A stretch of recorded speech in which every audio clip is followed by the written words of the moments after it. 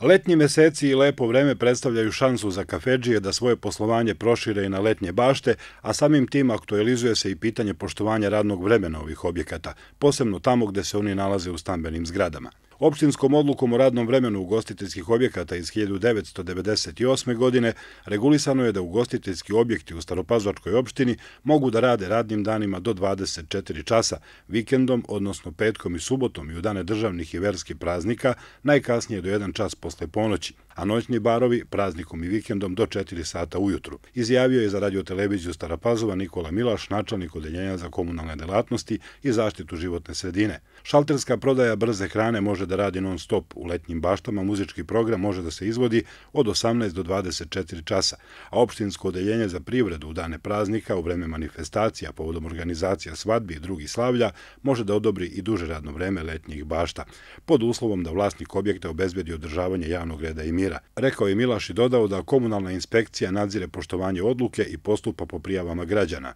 U prethodnom periodu nije bilo mnogo prijava za nepoštovanje radnog vremena od strane ugostitelja, dok je ranijih godina bilo prijava najviše za kafiće koji rade u prizemlju stambenih zgrada, posebno u Staroj Pazovi i u naselju Banovci Dunav. Inspekcija je u tim situacijama intervenisala, vodila određene postupke, a nalagala je i merenje buke.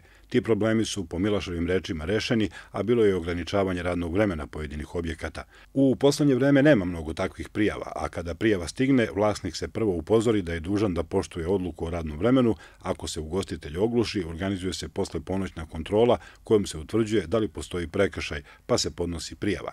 U tekućoj godini nije bilo posle ponoćnih kontrola, a prošlo je jeste na osnovu nekoliko prijava građana da kafeđije krše odluku o radnom vremenu.